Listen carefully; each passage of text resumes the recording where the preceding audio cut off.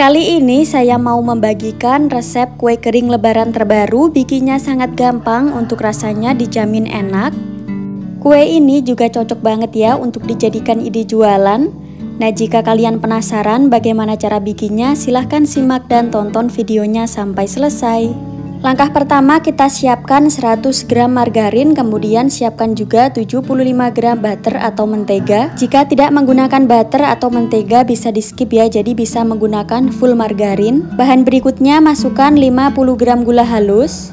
Untuk gula halusnya sebelumnya sudah saya ayak kemudian bisa kita masukkan secukupnya vanila dan juga satu butir kuning telur.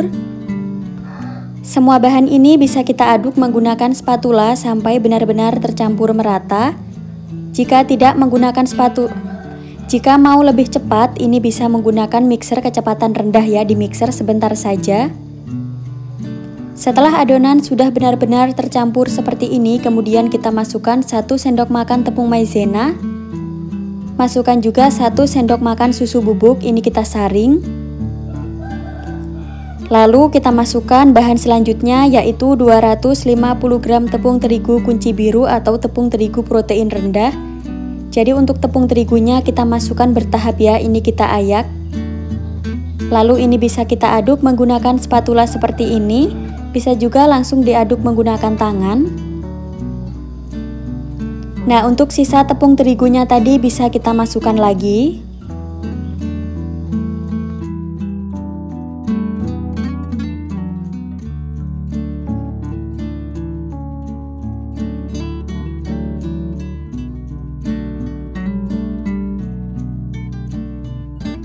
Kemudian ini bisa kita aduk atau kita uleni sampai benar-benar tercampur merata.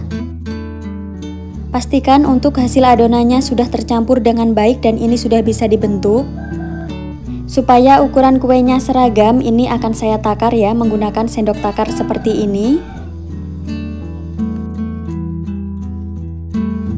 Nah jadi dengan menggunakan sendok takar seperti ini kita tidak perlu menggunakan timbangan ya teman-teman. Sebelumnya tadi sudah saya siapkan keju cheddar yang sudah saya potong-potong kecil seperti ini. Lalu bisa kita ambil satu bagian adonan. Kemudian ini akan saya bentuk bulat terlebih dahulu. Nah setelah itu ini adonannya akan saya bentuk memanjang seperti ini.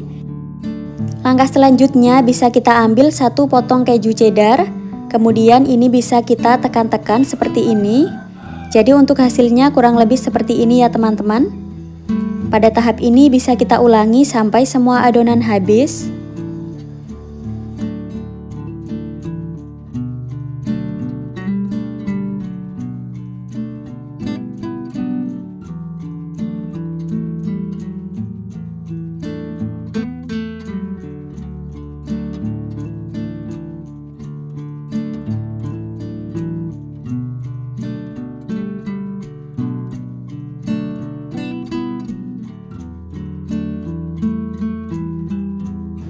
Ini semuanya sudah selesai saya cetak.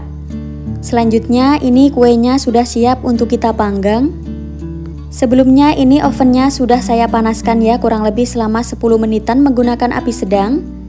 Jadi ini saya memanggangnya menggunakan oven tangkring. Kalian juga boleh ya memanggang menggunakan oven listrik.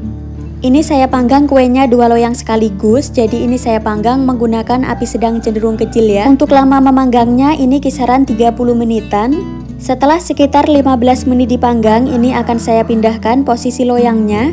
Jadi tujuannya supaya kuenya bisa matang merata. Lalu ini bisa kita panggang lagi sampai kuenya benar-benar matang. Nah setelah sudah matang, selanjutnya kuenya bisa kita angkat. Oh iya, untuk memanggang kue kering, untuk lubang ovennya ini dibuka.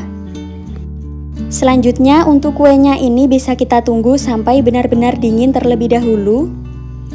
Ini sebelumnya sudah saya siapkan coklat rasa pisang dan ini tadi sudah saya lelehkan. Selanjutnya ini tinggal kita semprotkan saja di bagian atas permukaan kuenya. Untuk jenis coklat yang digunakan juga bebas. Nah jadi pada tahap ini bisa kita ulangi sampai selesai.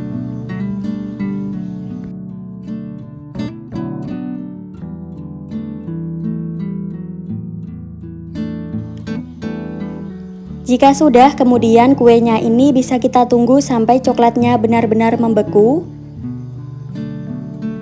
Setelah didiamkan beberapa saat, ini coklatnya sudah membeku. Selanjutnya kuenya ini sudah siap ya untuk kita kemas. Oh iya, jika kalian mau bikin banyak, tinggal dikalikan saja ya resepnya. Kemudian kuenya ini saya kemas menggunakan toples ukuran 500 gram. Sebelum dikemas ini saya menggunakan paper cup kecil seperti ini jadi supaya tampilannya lebih menarik. Dalam satu resep tadi ini bisa menghasilkan dua toples ukuran 500 gram. Setelah dimasukkan ke dalam toples kue ini bisa awet sampai 2 bulan lebih.